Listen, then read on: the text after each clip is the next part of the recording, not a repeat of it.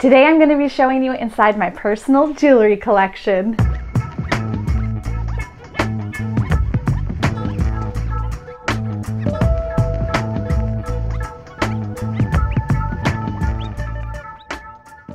This is something I've been wanting to share for a while and I've had a lot of requests for it over on my other channel, The Recycled Life. Today, I'm finally going to share my personal vintage jewelry collection. I love all things that have fringe, whether it's pillows, whether it's blankets, or whether it's jewelry. And anything that's going to have tassels and dangles, I'm going to love. This beautiful black onyx and copper fringe necklace I got from a very sweet subscriber. Thank you, Susan. Your gift is so sweet and so kind. This is something that I would wear with a summer dress, but I'd also rock that with just jeans and a t-shirt. This will be cherished in my personal collection for so many years to come. This is another sweet gift from Susan and I love Mexican silver and this one has so much beautiful detail on it. One of the things that I love to do is mix metals and when a piece already has mixed metals on it, I love that because then I can wear stacked brass over here and stacked silver mixed with copper over here and you have that one piece that kind of ties it all together. Since we've been in quarantine, I've had to be a little bit more creative on how I'm finding my jewelry. I can't just go to an estate sale or a yard sale and grab it for a dollar. I've had to look online and I've gotten several pieces, including this one off of eBay. One of the tips that I would give is if you're not looking for valuable pieces, but you're looking for really cool, really unique pieces, try searching other materials other than silver and gold. Everybody knows what they're worth. If you like an artist that works with pewter or brass or copper or a combination of all of those, make sure you check out eBay because I got this baby for only $11.99. It's not artist signed, but it's very mid-century brutalist. I love the look of it. And for $11.99, you really can't beat that when you're buying something that's a vintage piece online. Speaking of pewter and not signed and an eBay score, I got this for $16.99. And this one's really fun because I'm trying to add more of the mid-century modernist kind of atomic shapes in my collection. And I love this because it does have some kind of a resin fill in the center and that kind of ties in when I pair it with turquoise. So this is kind of a fun piece. It has a little bit of a hammered pewter look and I really like the chain on this one. In fact, I think I'm gonna wear that tomorrow. this one looks really cool with these earrings actually. I like wearing those together. So these are another eBay score that I got since I've been in quarantine. I think I've been shopping a little bit too much. It's really hard not to have that thrifting fix. And so I've been poking around on eBay every evening after dinner. But these were sterling silver little drop earrings. I think I paid $35 for these, so it was a little bit more, but I really loved how they had that modernist minimalist look. I know you probably won't believe me, but sometimes I do like to go for a minimal look. Not very often, but sometimes I do. And I thought that these would be perfect for that not a minimalist look, obviously. This is another eBay score that I just got for $12. And what I loved about this one was that it was pewter, which I'm very attracted to. I really like the look of pewter, especially when things have a little bit of that antiqued hammered look. And I liked that this reminded me of like an Egyptian collar necklace. It's nothing fancy and it's nothing valuable, but it's a big statement piece. And I think that this is gonna look really cool with just jeans and a t-shirt. Since I'm almost never a minimalist, one of the things that I love to do is stack bracelets all the way up my arm. And whenever I'm out shopping with my best friend Selena, we're always looking at pawn shops for things that are going to get melted down out of the scrap. Anytime we find a sterling silver piece, especially if it's artist signed, we always grab that out of the melting pot because these things do not need to be melted down to make new jewelry. They are amazing by themselves. I try to look for pieces that have a little bit of detail and design in them so I can do a mix and match stacked look. This one's one of my favorites. This I actually got from Pacific Jewelers in Vancouver, Washington, and it's a snake. It was funny, I pulled it out and I was already planning on getting it before I even realized it was a snake. He's cute, he's one of my favorites.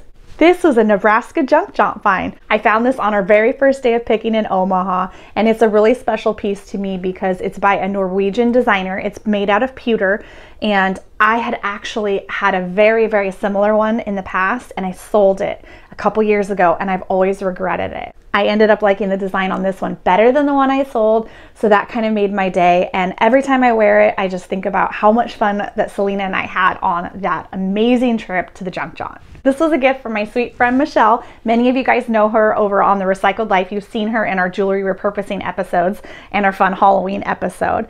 And this one's really special to me just because I love her to pieces. So that one will be cherished forever. Thank you, Michelle. This one's very special. This was actually my five year anniversary gift and it's an unsigned Navajo piece, but it has the most beautiful giant chunks of turquoise in it. And I love the little bit of detailing on it. It's such a statement. I love wearing this. Every single time I ever wear this chunker, I get lots of compliments. He's very special. I'm never letting this one go either. These are some fun modernist earrings that I got off of eBay, and they have black onyx on one side, and then they have a crushed turquoise in a resin on the other. I just love the fact that they were different. I'd never seen them before, and I love that as you walk, they kind of go whoop, whoop, whoop, whoop. These were an incredible score. I got these at a little thrift shop just up the street from my house, and I had never come across squash blossom earrings before. That was the first time I'd ever seen them, and I've actually never seen them since either. One of them had the little loop broken, and I got them for $10, so I got such a steal on them that I was able to take them to a jeweler, and for, I think it was $15, he was able to repair the loop. You can barely tell the difference between the two of them, and they're beautiful. I love the bright turquoise. It kind of pulls out the color in my eyes. These are ones you can wear with a dress, but you can also dress them down again with jeans and a t-shirt. Megan at the Vault Vintage Boutique has an incredible collection of vintage and antique clothes and lots of beautiful antique jewelry. And she was wonderful enough to let us host our pop-up vintage market in her parking lot. And I made a couple sales, and the first thing that I did was go inside and see this beauty, and I bought it. It's from the 1940s. It's a Turkish artist signed piece. And talk about fringe. I mean, this is where it's at. That's where it's at. I love this piece.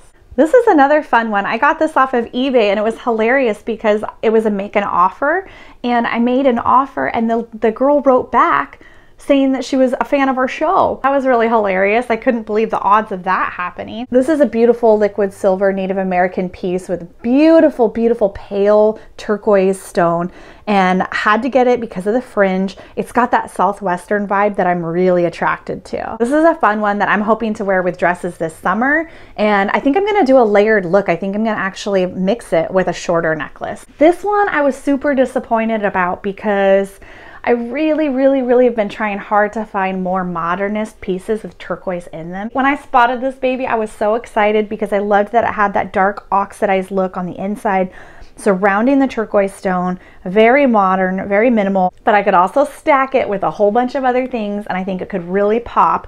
But it's just a little bit too small. So I'm gonna have to put this in our May sale. So if you have a very small risk, I'm so jealous of you and you can snag this baby in our upcoming May sale. I got a thing for snakes and this one's really cool because it's a double-headed snake. I had so much fun researching this ring. This is where I really started to learn what all of the stamps and all of the codes mean. And I was able to look at the tiny little stamps here. There's, you know, let's see, four or five different letters.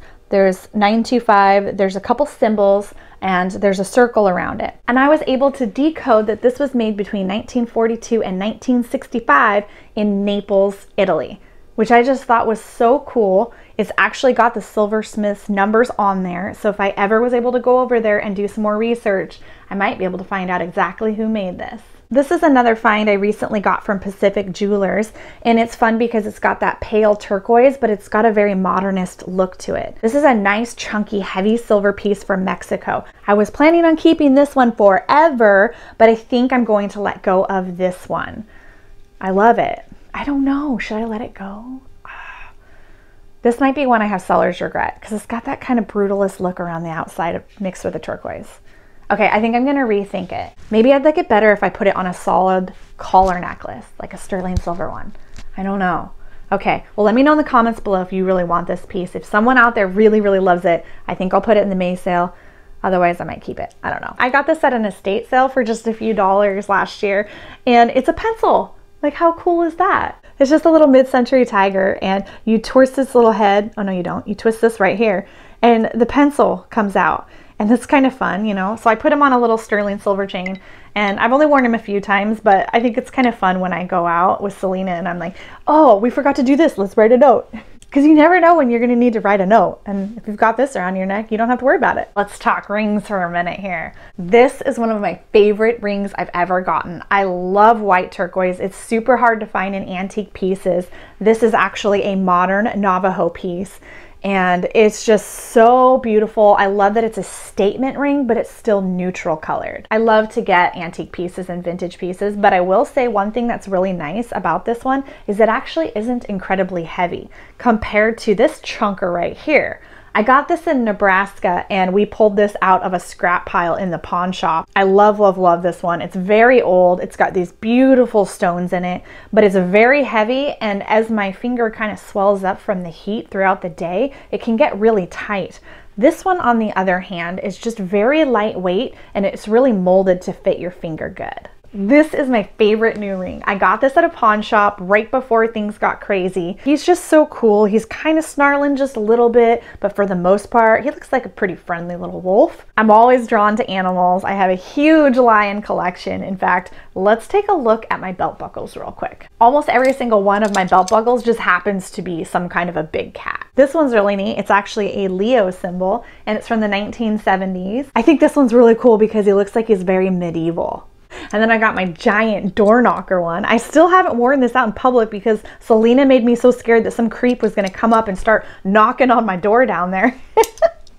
so inappropriate, I'm sorry. It's a very Game of Thrones with the lions on the side. It's a bit heavy, so I also think I'm a little afraid that it's gonna fall off and land on my toe, like if I'm wearing sandals or something. This could do some damage. My sweet friend Michelle also gave me this little Roadrunner as a gift. He's so cute. He's got two little turquoise bits in him and I wasn't sure what to do with him because he was a pin and I don't use pins very often in my clothes or in my fashion and I had this double-sided wallet that I got at Goodwill to take on the Nebraska Junk Jaunt. When we were out picking, we had our own personal shopping money and then we also had our Recycled Life jewelry money. And so this worked out great to be able to put it on my wallet and then I always knew that the Roadrunner side was my personal funds and then the other side was the Recycled Life funds. These little Thunderbirds were also another eBay score and I love these little guys because they're really, really lightweight, but they're a nice statement. I almost forgot to talk about this. This is another forever piece. I'm never letting this go.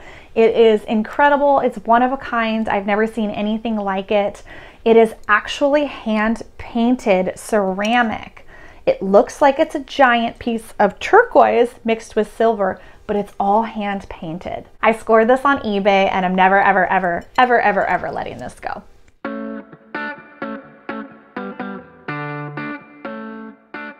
Welcome to another quarantine episode. As you can see, I'm here holed up into my bedroom with my kitties.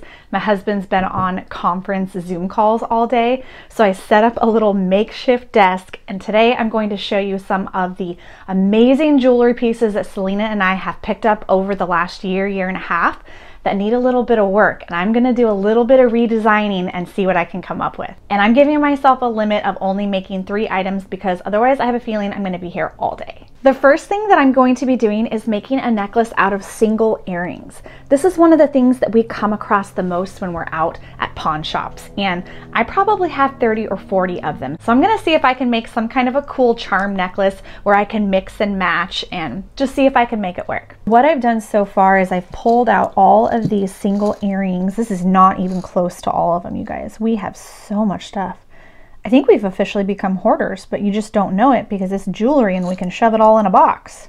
I've pulled out some really pretty old silver chains and I've also got a lot of little bits and pieces that I feel like I can somehow rework into the stuff. Who am I kidding? as soon as I started pulling this stuff out, I got really inspired and I do think I'm going to be spending all day on this.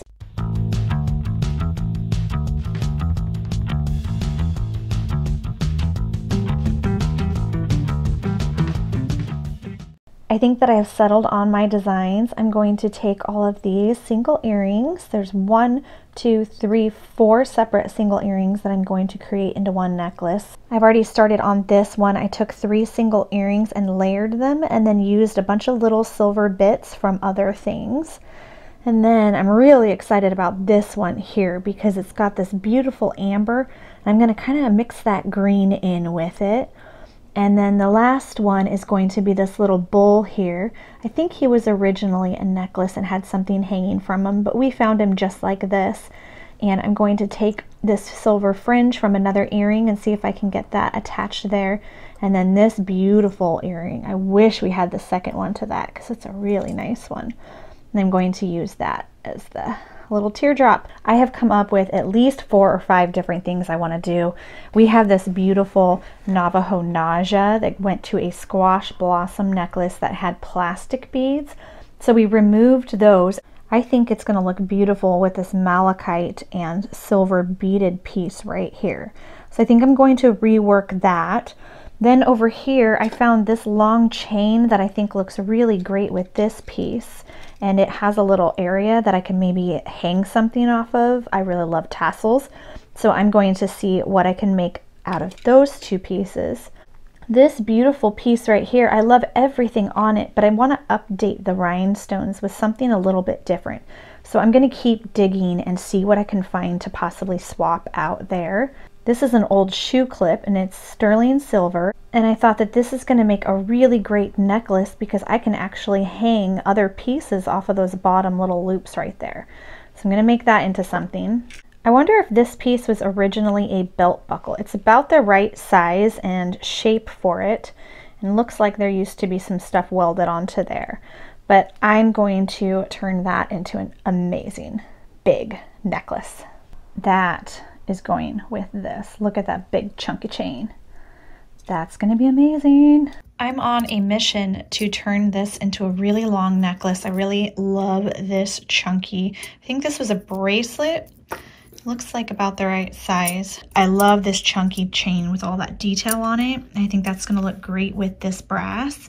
And then I think I'm going to possibly dismantle this necklace. I'm not loving these kind of brutalist chunky pieces here. But I really like the contrast with the black and the copper and brass all tied in together. I'm digging that vibe. So I think I'm gonna work some magic on this baby next.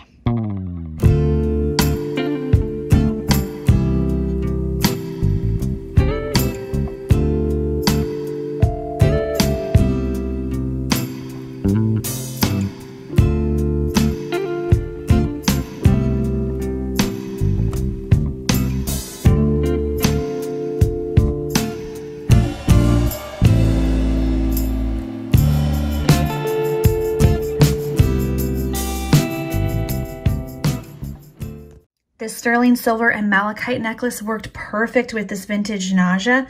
I love that when you really look close, you can see that there's some deep green in here. And I feel like pairing it with that malachite kind of pulls out the more green tones out of that turquoise. Super happy with how this turned out. This one's gonna be up for grabs soon. This one is probably going to be one of my favorites because I'm going to mix this beautiful blue-green turquoise with a mid-century brutalist sterling silver piece. And then I can't believe how many necklaces I have gotten out of this beautiful sterling silver chain. This one was saved from the melting pot. And when I grabbed it, I knew it was going to be expensive because it weighed a lot, but it was so worth it because I think I've already gotten four or five necklaces out of just that one really long chain. One thing that I'm always grabbing out of the melting pot are these beautiful sterling silver feathers. A lot of times they come off of earrings, like single earrings like this, where maybe someone tossed it away because it was missing one. And sometimes I find them just by themselves. But I think that this piece that I've stacked the three on needs something to separate between the chain and this little section I've created here. And I think that because I ended up going with the bird on top, I think the feathers would look really good. These are the two I think I'm gonna go with. They're not identical and they're not exactly the same length, but they are so close. So what I'm thinking of doing is putting one there and then one here. And there'll be maybe another bead or something in between that. So that's kind of the look I'm going for. This guy is all finished. I love the fact that this one is all silver and there's no color or stones on it, but that everything's got a lot of detail and texture. And I, I thought it was pretty neat that these little bars ended up working to separate that area. And then this was from something that had just maybe four or five of these pieced together, but the rest of it was missing. And then I used this little tiny like triangle mesh area to kind of drop that down. And then these are three separate earrings. So let's see, we've got one, two, three, four, five separate earrings. Actually, this was from an earring too. So six different earrings plus a bracelet part and a broken necklace part. I am so proud of myself right now. I think I've actually figured out how to get this to lay perfectly and I was able to use other beads from other necklaces that were broken as spacers. So this is going to be pretty neat. I added on this little guy in the middle here and I'm just right now creating this section to all be one piece and loop together and then I have a chain that I'm going to add to those loops that's a little bit smaller that will be the rest of the necklace and it's basically split in half right now. I can't wait to see how this one turns out. One thing that always happens with me when I'm working on these kinds of creative projects is everything changes in a minute. I just found this single earring right here that's sterling silver and I decided to completely rethink this green and amber colored one.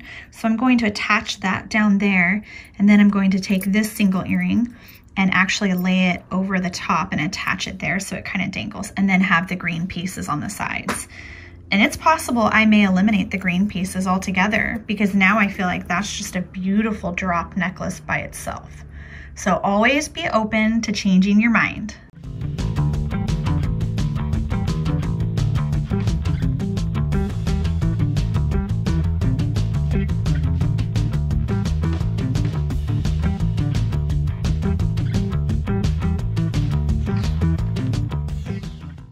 Having a very proud moment here. Look at this.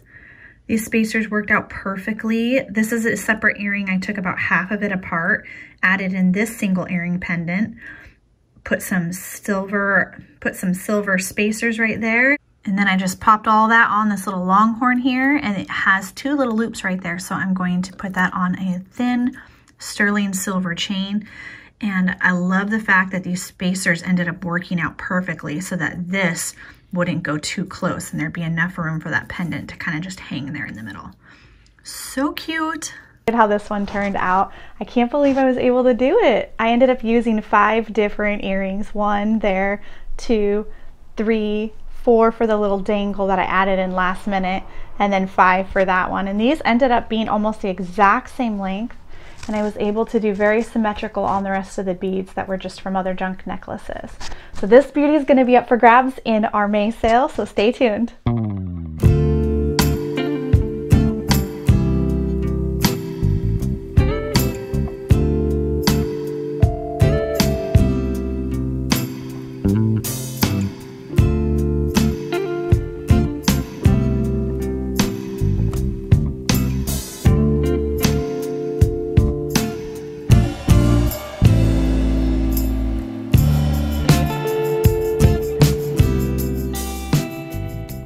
Okay, I've tried a few different things with this beautiful necklace here that I had taken the rhinestones off of. And originally I was gonna put the one shoe clip on it and hang some stuff from the shoe clip.